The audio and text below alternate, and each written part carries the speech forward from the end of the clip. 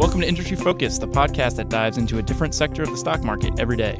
Today is Friday's show, so we're talking tech, namely IDC wearables data, since the numbers are hot off the presses.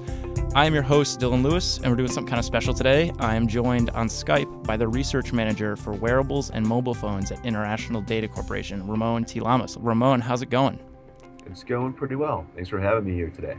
Yeah, so earlier this week, you guys released the quarterly update to the market share data for wearables, right? Mm-hmm. Always a lot of fun to put together. Oh yeah, and it's, it's a lot of fun for for us to digest. I have to say, like this is kind of a cool moment for me when I reached out to your PR guys about possibly getting something going on a regular basis. Uh, I was not sure how enthusiastic you guys would be, but I, you know, you you said you were a big fan of the Fool. We're obviously a big fan of your uh, your research and the stuff you guys put out on a quarterly basis. So it seems like kind of a match made in heaven. Personally, I've been a fan of the Fool since 1995. Oh, so you go uh, way back. yeah. Yes. Yes. I have all the books and everything. Wow. Yeah, that's the early Gardner stuff.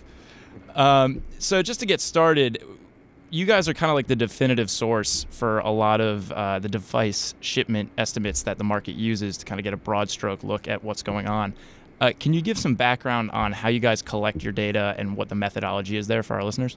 Sure. You know, uh, we, we take a number of approaches. Um, fortunately, because we had a lot of expertise in gathering this kind of data in other uh, device categories like mobile phones and PCs and tablets, uh, we leverage a lot of these same relationships we have with these vendors uh, to get insight as to uh, how the previous quarter's been doing. Um, in addition, we have a number of connections with uh, channel checks, distributors, um, suppliers, uh, component providers, that sort of thing. So we can better triangulate how different vendors are doing and how the overall market is shipping up at any given quarter. So it sounds like if you get one number maybe from a manufacturer, you kind of gut check that against what a supplier might be telling you as well. And that's exactly what we do. Cool. Uh, and in addition to all these, you know, external, uh, uh, you know, checks that we have, uh, we have a number of internal teams that say, listen, you know, you may be getting this number, but I can tell you by my conversations uh, with some of the other uh, people in the ecosystem that you know the numbers may have to adjust slightly higher or slightly lower, but you know, it gives us just another area uh, another uh, you know defense card, if you will, uh, for us to say here uh, we can gut check things one more time. Cool. Well, let's dive into the numbers that you guys came out with uh, earlier this week. So for the wearables market, and this is smart watches, fitness wearables, anything kind of in that spectrum. Uh, you guys estimate 19.7 million units uh, in this just recently closed quarter. That's an increase of 67% from the 11.8 million units shipped during last year's first quarter. Um, that's down sequentially 27.4 million, but no real surprises there, right? I mean, the holiday season's a big boom. Holiday season is a big boom, and, and you know, a lot of vendors were hoping that the fourth quarter of 2015 was going to be the time when, oh, hey, look, you know, a wearable, the greatest gift that you can give during the holiday season. Um, so the first quarter of 2016, yes, we're, we're expecting some retrenchment, if you will. Uh, but at the same time, we saw a lot of activity. You're, you're seeing a number of uh, companies being bought up. You're seeing a number of companies trying to realign and re rationalize their strategies. Uh, and unfortunately, we saw several companies uh, bow out of the uh, market altogether. So, for a market that's just about four, maybe five years old, uh, still lots of activity going on here. And just a rundown of the top players in the space right now. Uh, so Fitbit was in first place in market share. Uh, they had 4.8 million shipments, according to you guys, good for 25% of the pie, roughly. Uh, Xiaomi, the Chinese manufacturer, was in second with 3.7 million and just under 20% market share. Apple in third, 1.5 million, and uh, but just under 8% of the market share. Um, so just a quick rundown of the things that really jump out to me, at least. Uh, Fitbit's market share is down year over year and sequentially. And, you know, the year over year isn't terribly surprising because last year's first quarter, Apple wasn't in the market yet. So that, that's a natural chunk that's just going to be taken right out. Um, but is Xiaomi the culprit here with what we're seeing on uh, on a sequential basis? Because, you know, I see that their market share hasn't really flipped all that much, but they're up sequentially. Well, you know, it's not so much the sequential growth that I'm really, you know, kind of concerned about because at that point we're really looking at the seasonality of the entire market. So going from, you know, busy fourth quarter where everybody's giving these things as holiday gifts down to uh, first quarter retrenchment, we're, expecting that kind of, uh, you know, activity. Mm-hmm. Uh, whereas if you take a look at the year-over-year growth from a year ago, I mean, yes, you know, Apple wasn't out for during the first quarter of uh, 2015, so we'll, we'll, put those guys aside for a second. But take a look at, you know, Fitbit, uh, you know, up 25% year over year. Xiaomi up, you know, more than 40% year over year. And now we're talking about real growth opportunities. Uh, uh, you know, again, that takes out the seasonality It kind of makes you say, hmm, you know, here's a number of vendors, you know, growing a number of different ways. Uh, number one, you know, new devices. Number two, uh, new distribution channels. Uh, number three, you know, new markets that they're spreading into, and that's going to be, you know, the, the part that I, you know, tout the most, saying, yeah, you can have, uh, you know, uh, fourth quarter, you know, post fourth quarter slump, but altogether, if we're seeing the market showing, you know, consistent year over year increases, uh, and look, we're doing it at a strong double digit clip.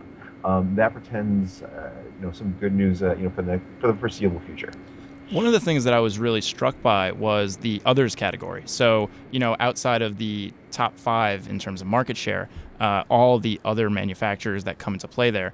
Uh, so, a year ago in 2015, they made up about a third of the market, and they're actually up uh, quarter uh, year over year, up to 37%. It's not a huge move, but um, you know, I was kind of expecting consolidation as this market matures, and I guess you know it's not quite there yet. It's still very nascent. But um, any color there as to what's going on in that lumping of others? Well, you know, here's the thing. You know, with this others category, that encompasses a lot of different types of devices uh, that have been coming out, and it's easy to point to things like fitness trackers that go on your wrist or, or, or some sort of smartwatches. Uh, but now we're looking at a number of different, say, products and form factors like smart shirts, uh, smart workout shorts, smart socks for crying out loud, um, smart jewelry, um, you know, smart eyewear, and and and, and uh, you know, uh, head-mounted displays. You know, there are a number of different categories that are coming out, you know, en masse uh, from a year ago, and and yes, they're taking up more market share. At the same time, we're seeing a lot of copycat type vendors. I mean, for every Fitbit device that comes out, you know, there's at least a, a couple hundred other you know copycats and Me Too's and wannabes that do exactly the same thing. Uh, it just doesn't say Fitbit on them. Right. So uh, you know, we, we got to give uh, you know all these uh, you know markets uh, you know, uh, contenders and followers and, and fast followers and pretenders uh, to firmly establish themselves over the next, uh, you know, several quarters or even years for that matter, uh, to see, you know, where the market's truly going. And that's part of the fun of tracking a nascent market, right? Is uh, seeing how it all shakes out. Exactly, because you know, it, first of all, if we rewound the clock back, you know, let's just say an even ten years, so that puts us back to what 2016, you know, pre-iPhone, and uh, somebody says to you, hey, you know, uh, in a decade from now, we're going to have a brand new market, we're going to have brand new, um, uh, you know, brand new vendors getting into it. Of course, you know, my knee gut, uh, knee-jerk reaction would have been, um, yeah, you know, maybe we'll see Apple and Microsoft and Google and and and and, uh, and and all the you know usual suspects. But if you take a look at this top five list you know, these are not, uh, you know, there's some vendors over here, and as well as you know, hosts upon hosts of other vendor names here you've never ever heard of, guaranteed. And uh, because we're here in the U.S., you probably won't hear of them ever again either. Um, but that certainly says to uh, you know the, the forces of this market and the power of local manufacturers and OEMs to get into this market as well. And to your point, it's actually been kind of surprising the lack of success that some of the really big entrenched tech names have had. You know, they, you look at what Samsung's done, and they've been more or less flat in this market. Um, you know, and you've had these upstarts or these uh, kind of low-end manufacturers, your Xiaomi's coming in and just taking huge swaths of the market. Exactly, exactly. But you know, with re, uh, with respect to Samsung, uh, yeah, you know, volumes, uh, you know, changed, you know, not uh, you know, not too much from a year ago. Um, but if you you know, lift the hood and, uh, and you say to yourself, you know, okay, how has the devices changed? how has their portfolio changed? And you take a look at what they used to do in terms of just uh, you know experiments with different flavors of a watch and what different features work. Now they got something ro- much more robust and uh, much more sophisticated and, and, and stylized. Um, and it's been a very popular watch with uh, carriers because it has cellular connectivity. Mm-hmm. Uh, meanwhile, you got a company, as you point out, with Xiaomi, great growth year over year. Uh, guess what? The vast majority of that company's volumes are still ending up in China, uh, and these are fitness trackers that go for about what between 12 and 15 dollars? Incredibly inexpensive. Sometimes they're bundled with a smartphone as well. Uh, so again you, you lift the hood and you take a look at you know number one the products but number two you know take a look at that distribution strategy of how some of these uh, devices made it out the door really interesting time to be in this market yeah, and so I'm glad you brought up Xiaomi and their efforts in China and how really, I mean, that's the bulk of their business, 90 something percent of their business at this point, right? Um, you guys take a global look with this data, and so all the market share numbers we're talking about here are worldwide. Are there regional markets where demand is particularly strong, either for one brand like Xiaomi, or um, just there's a huge appetite for this type of technology? You know, it, it's it's really um, it really comes down to, to three uh, markets. Uh, one is China, um, another one is um, the United States, and the other one is Western Europe. So if you grouped all the England, France, Italy, Germany, Spain, and, and some of the smaller markets there, you know, we're starting to see you know similar numbers, uh, you know, at least on a top line basis. Now, if you talk about the different brands over here, you know, here in the U.S., we can talk about the Apples and the Samsungs, the Fitbits, and, and the Garmin's, no problem. Um, when I was taking a look at the, the Chinese list, you know, just the top 10 i didn't need i've never heard of some of these vendors that uh, that are uh, uh, that are over here. I mean yes you see your uh, xiaomi's and your huawei's but things like lifesense um, xtc uh, abardeen i mean things that you and i might not even recognize and, and even have a hard time trying yeah. to find on a google search. But you know this is what's uh, this is what's happening there. Hmm. okay? So you know that, that kind of says to me that you know there's space to move there's space to grow um, but I, I think uh, you know I, a number of these markets, uh, you know, we're starting to see uh, you know challenges to the potential you know, global order. Mm-hmm. Um, does it? Why does it have? Why does the world have to belong to a Fitbit or an Apple uh, or a Samsung? It could be done. It can be homegrown, and, and in some cases, a lot less expensively too. Is there anything looking back at this most recent quarter that really surprised you in the data, or has it been kind of more of the same? Well, you know, a, a lot of people ask me, you know, so what's going on with Apple?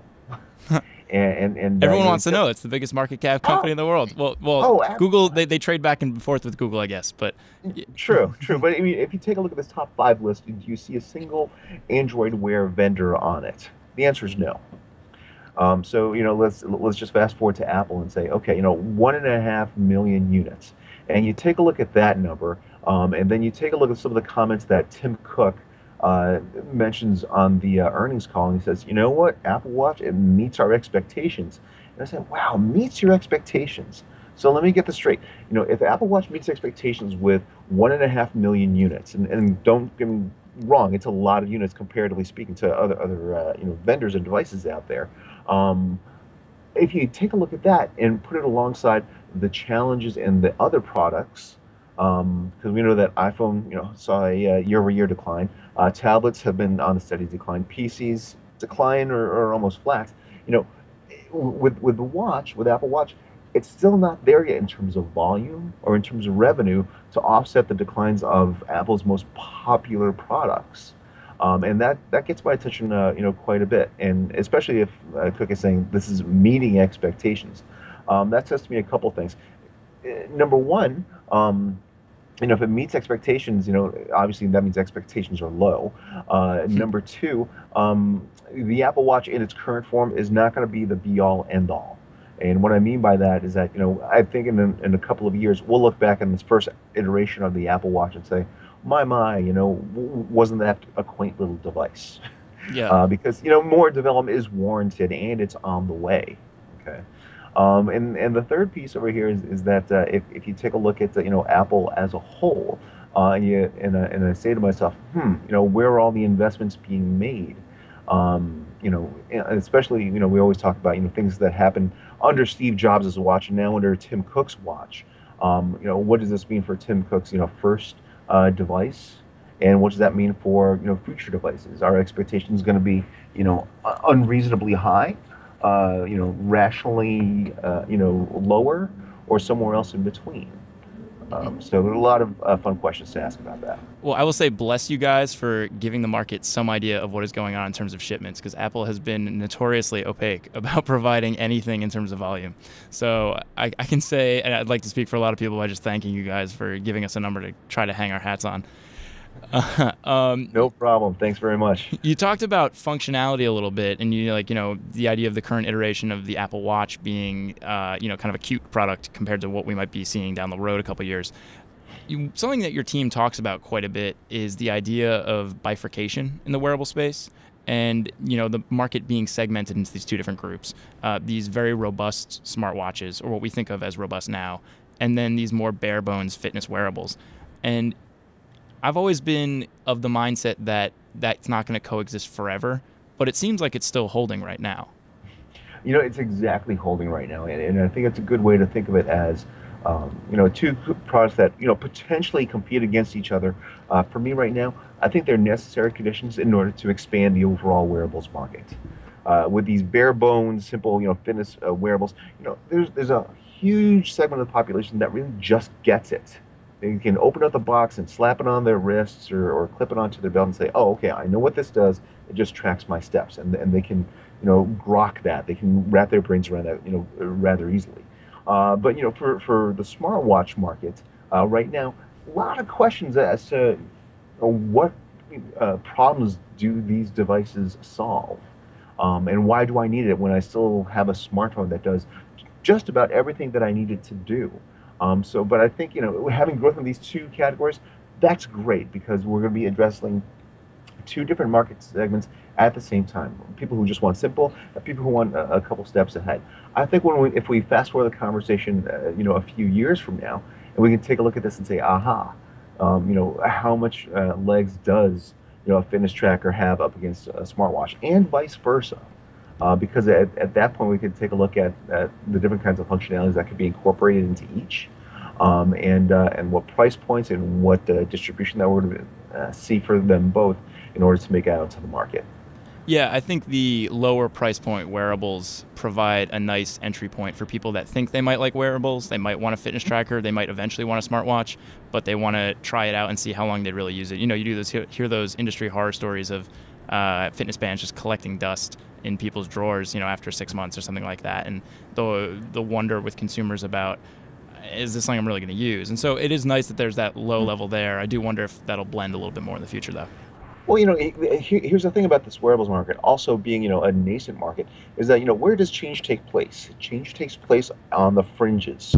It doesn't take place, you know, right directly in center. And so, you know, where change is taking place the most right now, and has been for the past several years, is uh, has been with fitness trackers. Again, you know, people get it. And now, what do we see on the edge right now? Well, it's the smartwatches.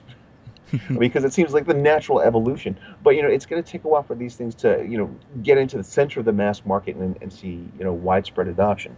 Now, while at the same time we see you know we, we have great expectations for both uh, smartwatches and, and fitness bands. Um, you know, let's not overlook all the other product categories out there. I mean, we snickered a little bit when, when we brought up, you know, smart clothing. Um, but, you know, I think that's an area that's going to have, a, you know, tremendous growth potential. Um, same thing with smart eyewear and same thing with smart earwear.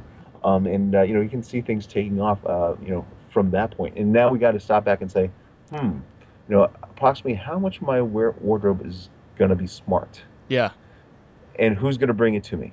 And am I going to like it? And am I going to want to pay for that price differential between paying, like, say, you know, fifteen dollars for a T-shirt versus forty dollars, you know, hypothetically, uh, for a T-shirt that tracks my uh, tracks my vital, uh, uh you know, health data. Mm-hmm. We haven't gotten to that point, but it, it's going to come. Expect it. So, a couple companies that are really playing in that space or looking to, uh, whose names are not currently in the market share conversation, at least you know among the top five, uh, that I think of are the more traditional fitness companies. So, Under Armour and Nike. And so their efforts in smart tech, I think, are still very limited. They're kind of in their infancy. But do you think there's a point, possibly in the not so distant future, where we start to see their names coming onto this list? You know, here's the thing about the companies like Under Armour and Nike, and, and, and just to you know toss on a couple more, um, New Balance, Reebok, Asics. Uh, considering that you know health and fitness as a category is, is, is the low hanging fruit for the wearables market, um, I wholeheartedly expect these vendors to get into the space and, and make a lot of noise. Uh, because if you take a look at it, you know the, the blueprints are already there for making apparel and clothing of all different kinds. Now, you know, ask yourself, you know, what does it take for for, for vendors to make, say, uh, you know, uh, shoes and sneakers smart? Well, I'll probably say, you know, not too much. Maybe you know a number of sensors, but I think it can be done. Uh, these companies already know how to make clothes, particularly clothes with, uh, you know, compression fabric, so you get a nice tight, uh, you know, wrap around the body.